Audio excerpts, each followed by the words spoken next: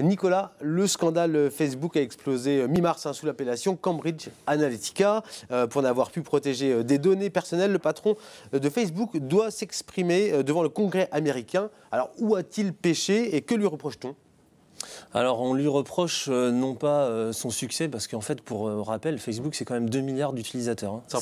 C'est monstrueux. Mmh. Mmh. ce qu'on lui reproche, c'est la gestion et la porosité de son système, parce qu'en fait, à travers Cambridge Analytica, il y a eu une collecte de données à l'insu de Facebook et à l'insu de 87 millions d'utilisateurs de Facebook. Pour quelles raisons Pour venir désinformer pendant la campagne présidentielle, notamment de 2016, où M. Trump a gagné. Et donc là, on se retrouve euh, finalement dans un euh, problème, un souci euh, démocratique. Est-ce que c'est un réseau social ou est-ce que c'est un média? Finalement, qui nous touche tous aussi aujourd'hui avec ces données personnelles qui peut-être vont à droite et à gauche, quoi, si on n'a pas coché comme il fallait. Alors, est-ce que justement les zones troubles de Facebook, elles sont, elles sont connues et elles ont une ampleur qui est de plus en plus importante aujourd'hui?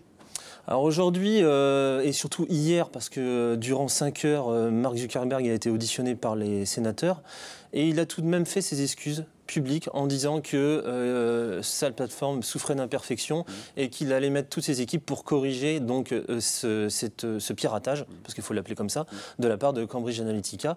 Et donc euh, il a également avoué que les conditions générales d'utilisation n'étaient pas optimum. Ah, les fameux CGU qu'on voit. Voilà, donc il, dit que par défaut tout est activé et donc si on est suffisamment intelligent, c'est-à-dire comme lui, on est capable de, de décocher euh, euh, le, partage de certaines informations. Il prêche par bonne foi, je dirais, ou pas? Euh, disons qu'il a, il a joué un petit peu son candide, je dirais. il a très bien été conseillé par ses avocats.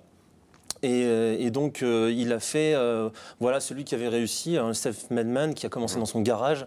Et en tous les cas, on s'aperçoit que lui-même, aujourd'hui, ne connaît plus vraiment les tenants, les aboutissants de sa plateforme. C'est-à-dire que c'est une machine qui a lancé et aujourd'hui, il ne sait plus la maîtriser. Ça me fait penser à quelqu'un, tout ça. Oui, ça fait penser euh, de fait à un personnage très connu qui s'appelle le docteur Frankenstein, qui engendre donc euh, une, chose dont il n'est plus euh, capable de contrôler. Et on se retrouve dans cette situation où Mark Zuckerberg, en fait, se retrouve à questionner son modèle économique même de Facebook, parce que Facebook, pour le rappeler, c'est gratuit, hmm. mais il faut toujours se poser la question de savoir pourquoi. Et donc là, aujourd'hui, Zuckerberg, face à, cette, face à ce scandale, est en train d'ouvrir de, la possibilité de rendre Facebook payant et donc d'éviter cette fameuse régie publicitaire qui fait les choux gras de Facebook. Merci, on en sait un peu plus. Merci d'avoir décrypté un petit peu cette affaire. Marc Zuckerberg, Nicolas.